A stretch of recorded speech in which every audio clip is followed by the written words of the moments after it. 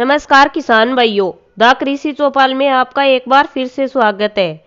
गेहूँ की फ़सल में चौड़ी पत्ती वाले और संकरी पत्ती वाले सभी तरह के खरपतवार होते हैं और ज़्यादातर किसान भाई इन खरपतवारों को नष्ट करने के लिए अलग अलग दवा का छिड़काव करते हैं, जिससे दवा की लागत भी ज़्यादा आती है और मेहनत भी ज़्यादा होती है और फ़ायदा भी पूरी तरह से नहीं मिल पाता है।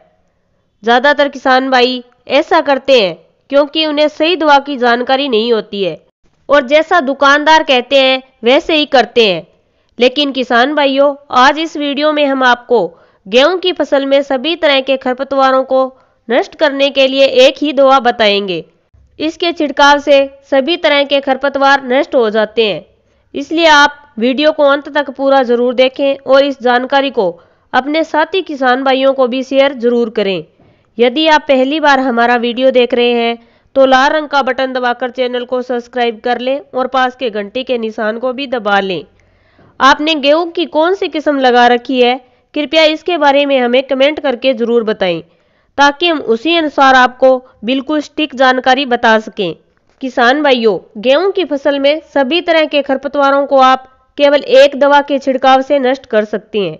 इसके लिए आपको अलग अलग दवा का छिड़काव करने की आवश्यकता नहीं है। ज़्यादातर किसान टू फोर डी दवा का छिड़काव गेहूँ की फ़सल में करते हैं। टू फोर डी के छिड़काव से चौड़ी पत्ती वाले खरपतवार तो नष्ट हो जाते हैं, लेकिन दूसरे खरपतवार गेहूँ की फ़सल को नुकसान पहुंचाते रहते हैं। इसलिए किसान भाइयों, गेहूँ की फ़सल में सभी तरह के खरपतवारों को नष्ट करने के लिए आप सल्फो सेल्फ्यूरोन पिछहत्तर प्रतिशत प्लस मेटा सल्फ्यूरोन मिथाइल पाँच प्रतिशत का छिड़काव करें।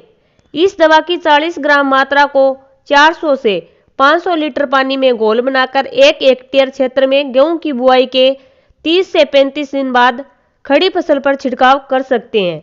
किसान भाइयों, इस दवा के छिड़काव में आप एक बात का ध्यान अवश्य रखें।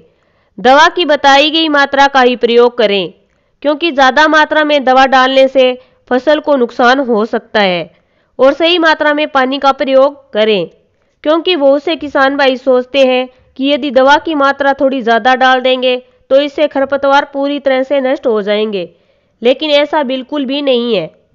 सही मात्रा में ही दवा का प्रयोग करें, ताकि फ़सल को भी नुकसान नहीं हो और खरपतवार भी नष्ट हो जाए। आज की जानकारी में बस इतना ही। जल्द ही मिलते हैं एक और नई जानकारी के साथ। तब तक देखते रहें द कृषि चौपाल।